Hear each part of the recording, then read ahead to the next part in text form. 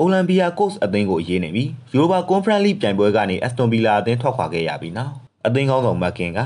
အသင်းအနေနဲ့ဥရောပပြိုင်ပွဲမှာထွက်ခွာခဲ့ရမှုကနေတင်ယူမှုတွေပြုလုပ်ရမယ်လို့ပြောခဲ့ပါတယ်မက်ကင်ကလာမယ့်ရာသီဥရောပပြိုင်ပွဲတွေရှင်ပြိုင်နိုင်ဖို့အတွက်ဒီအခါရတဲ့တွေကိုပိုကောင်းအောင်စီမံခန့်ခွဲနိုင်ဖို့တင်ယူရမှာပါကျွန်တော်တို့ဟာဒီနှစ်မှာပိုကောင်းအောင်လုပ်ပြီးဥရောပဘိုလ်လူပွဲတက်ချင်တယ်ဆိုတာသိကြပါတယ်ပြိုင်ပွဲကနေထွက်ခဲ့ရတာကကျွန်တော်တို့အတွက်ကြီးမားတဲ့တင်ယူမှုလို့ထင်ပါတယ် ချောမွေးတဲ့ခရီးမဟုတ်ခဲ့ပါဘူးလို့ပြောပါတယ်အက်စတွန်ဗီလာအသင်းဟာ